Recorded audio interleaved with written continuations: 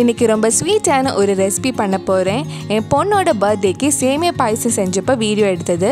Mostly நிறைய பேருக்கு இந்த ரெசிபி தெரிஞ்சிருக்கும். எங்கள் வீட்டில் நாங்கள் எப்படி சேமியா பாயசம் செய்வோன்னு இந்த வீடியோவில் பார்க்கலாம். ஃபஸ்ட்டு பால் கொதிக்க வைக்கலாம். நான் ரெண்டு லிட்டர் பால் எடுத்திருக்கேன். நான் எடுத்திருக்கிற பால் கொஞ்சம் கெட்டியாக இருக்கிறதுனால அதே அளவு தண்ணி இதில் ஊற்றலாம் டோட்டலாக ரெண்டு லிட்டர் பாலுக்கு ரெண்டு லிட்டர் தண்ணி ஆட் பண்ணியிருக்கேன். பால் நல்லா சூடாகி கொதிக்கட்டும். நடுவில் கொஞ்சம் கிண்டி விட மறந்துடாதீங்க இல்லைன்னா அடி பிடிச்சிரும்.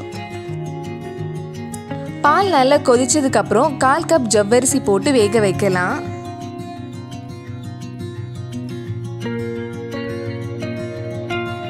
பத்து நிமிஷம் ஜவ்வரிசி வெந்ததுக்கப்புறம் ஒரு கப் வறுத்த சேமியா போட்டு வேக வைக்கலாம்.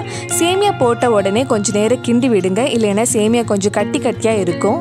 நான் இதில் வறுத்த சேமியா தான் யூஸ் பண்ணியிருக்கேன். வறுத்த சேமியா இப்போ கடையில் வாங்க கிடைக்கும். கிடைக்கலனா நீங்கள் கொஞ்சம் நெய்யில் சேமியாவை வறுத்து கூட போடலாம். இருபத்தஞ்சி முப்பது நிமிஷம் ஆகும் சேமியா நல்லா வேகிறதுக்கு. சேமியா நல்லா வெந்ததுக்கப்புறம் ரெண்டு கப் சுகர் ஆட் பண்ணுறேன் நல்ல வாசனை டேஸ்ட்டுக்காக கொஞ்சம் ஏலக்காய் பொடிச்சு பாயசத்தில் போடலாம். இதுக்கு முன்னாடி டேஸ்டியான சிறுபயிர் பாயசம் செஞ்சுருந்தேன். நீங்கள் இன்னும் அந்த வீடியோ பார்க்கலன்னா அதோட லிங்க் கீழே டிஸ்கிரிப்ஷனில் இருக்குது மறக்காமல் அந்த வீடியோ போய் பாருங்கள் கடைசியாக ஒரு கப் கண்டன்ஸ் மில்க் ஆட் பண்ணுறேன் கண்டன்ஸ் மில்க்கும் சுகரும் உங்கள் இனிப்புக்கு ஏற்ற மாதிரி போட்டுக்கோங்க.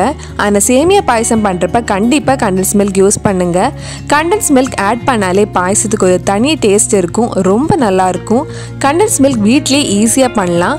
எப்படி பண்ணுறதுன்னு வீடியோ லிங்க் கீழே டிஸ்கிரிப்ஷனில் இருக்குது கடைசியாக ஒரு சின்ன பேனில் ரெண்டு மூணு டேபிள் ஸ்பூன் நெய் ஊற்றி முந்திரி திராட்சை வறுத்து பாயசத்தில் போட்டால் சுவையான சேமியா பாயசம் ரெடி ஆகிடும்